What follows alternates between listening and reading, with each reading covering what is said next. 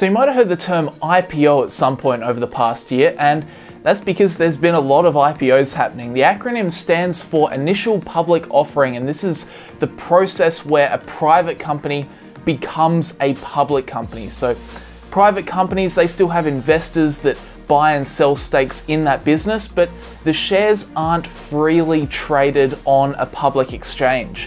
When a company goes public, they create a big new packet of shares for investors to buy, and then the shares of that company start trading on a public market. So, why does this happen? Well, the main point of an IPO from a company's point of view is to raise money from investors like you and me if they perhaps they want to acquire another company or they have grand plans to open new stores, they might find the money they need through the IPO process, through selling new shares to the public. Now, IPOs are nothing new, but what's been a little crazy is the sheer number of IPOs that are happening right now. And this is usually a bit of a signal that the stock market itself is very overvalued. So, in this video, we're going to talk about just how big this IPO boom is. Then we're going to discuss why it's a sign that the markets are actually pretty hot.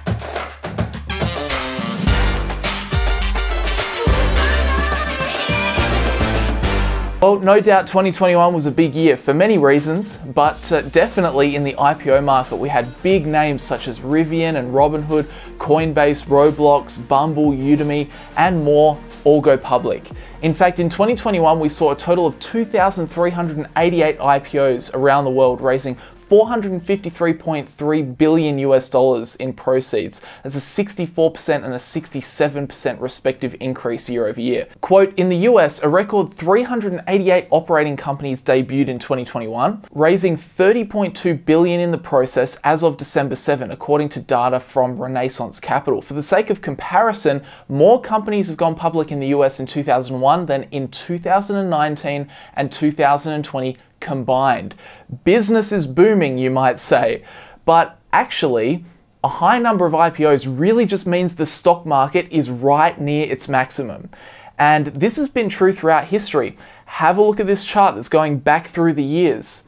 In the last few years, we have seen hundreds and hundreds of IPOs in the US. Right before the global financial crisis, there were heaps of IPOs right before the tech bubble burst, heaps of IPOs. Lots of companies seem to go public right at the hottest times in the market. And then look, when the stock market crashes, nobody is looking to IPO at all. There were just 21 IPOs in 2008 after the GFC, and just 80 in 2001 right after the tech bubble burst. But why? Why does the number of IPOs in a year actually seem to line up with stock market booms and busts? Well, it's because overvalued stock market conditions are actually favorable for companies trying to IPO, whereas recession conditions are very unfavorable. So let's have a look at this from the company's perspective. Say you started a company, it did pretty well, and now you're considering going public to sell a chunk of your business. You're going to create and sell some new shares to the public to raise some money for, say, a few new stores. Well, in this scenario, you want the stock market to be really, really overvalued because if everyone across the public markets is paying through their teeth for ownership stakes in public companies, even if they're speculative, unprofitable, debt riddled, etc., that means you'll likely fetch a really high share price on IPO day. If there's a lot of money floating around the system from investors, it's going to be easier for an average company to sell their shares and it's going to be easier for them to fetch a good share price. Now, this means one of two things. One, if you have a set amount of cash you'd like to raise from the IPO process, it means you'll have to sell less shares, so less of your business to raise that money. Or if you just wanted to sell a certain number of shares on IPO day, then it means you'll likely rake in more cash than you had originally intended by IPOing now. Awesome. Boy, is it fun to go public in overvalued market conditions if, you, if you're the business owner. Um, and naturally, on the flip side, if we are in, say, a high interest rate environment, there isn't a huge amount of money floating around from investors. You know, the economy isn't growing.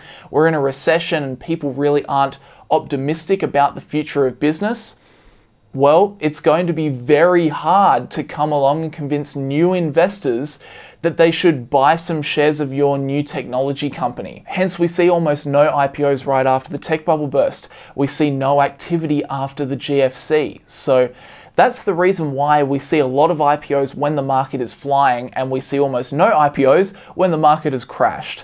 Um, the market is hot, IPOs are easy money for the company, so they will all try and get in at once to raise that cash because investors are just going to find any old place to park their money, even if they overpay and settle for lower returns. Rivian is a recent example of this. This is a company that had barely delivered a single vehicle when they IPO'd, yet they reached a market cap of over $100 billion on day one of trading. They raised $12 billion from their IPO process. $12 billion from investors. No revenue, just a series of future promises. So it's an interesting dynamic, but knowing how this system works is also handy for us investors more broadly because we can use the IPO markets to show us a hint at the current state of the market and have a look at some of the average first day returns of new IPOs. In 2021, the average first day return was 32%. In 2020, it was 41.6%. 2019, it was 23%. In 2000, it was 56%. In 1999, it was 71%.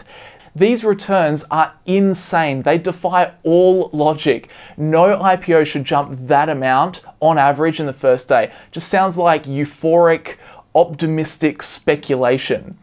Uh, and then have a look at the average first day returns in 2001, just 14% after the tech bubble burst. Then the average first day return in 2008 was just 5.7%. So we as investors can look at this data to see whereabouts we are in that cycle. And at the moment, it seems we are right at the end of the cycle. You know, IPOs are the thing. More IPOs in 2021 than in 2020 and 2019 combined. Average one day return is an astonishing 32%. More and more businesses want to go public in these conditions, and investors are throwing money at literally anything right now. These facts that we can see in the IPO data definitely suggests that the market is getting a little bit silly right now. But there's another way to look at this scenario. You know, surely the data suggests that right now we should just be buying IPOs. 32% returns in one day sounds amazing. Seems like it would be very profitable, no? Why don't we just do that?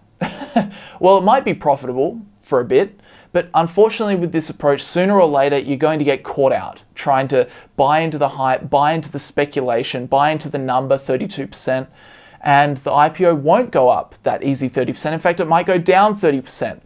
You just don't know when the IPO honeymoon will come to an end. And in fact, there is some data that shows that it might already be ending. This Fortune article from the 14th of December shows that about half of the stocks involved in the 100 largest US initial public offerings in 2021 are actually trading below their offer prices currently. They note that, quote, the Renaissance IPO exchange traded fund, which currently tracks a basket of 106 stocks that have gone public in recent years, was down 11.5% on the year as of Friday morning. But just three weeks ago, it was up 7% on the year. So just in the past few months, we've started to see IPOs cool off a little bit. And this is always the difficulty in trying to make money speculatively, you know, just by buying all of the hot new IPOs. And personally, because they are so speculative, I never buy any IPOs. You know, as Warren says, rule number one is to ensure you don't lose money. And when you start playing roulette with big new IPOs, you're definitely violating that investing law. And unfortunately, when it comes to IPOs, we also have a severe lack of historical financial data that shows you how the company has performed over time. You know, how have they grown? How have they managed debt? How has the management team held up in the ROIC department? These are all critical pillars to look at as an investor to make an informed investment. But when it comes to a new business that recently IPO'd, you might have one or two years of financial data tops. And for me anyway, that is simply too little information to be able to confidently predict your future returns by owning shares in that business. So, at the end of the day, it's a bit of a gamble, and that's not really what I'm about with my investing. I like bets with much more certainty, um, but overall, that's the tale of our current IPO boom. And hopefully that shows that, you know, as long as the markets stay as they are, we'll likely see many more IPOs again this year. But, you know, with 2021 having more IPOs than the previous two years combined, it certainly seems like CEOs are trying to get in now before these market conditions end. So overall guys, that's the tale of the IPO boom. Uh, I hope you learned something. I hope you found this video enjoyable. Leave a like on it if you did. Subscribe to the channel if you're new around here. And uh, yeah, jump on board for 2022. Happy New Year to everybody. I hope you had a good Christmas and New Year break. I certainly did. I'm back at it now, about to move into the new office, so I'm excited about that. But guys, that'll do us for this video.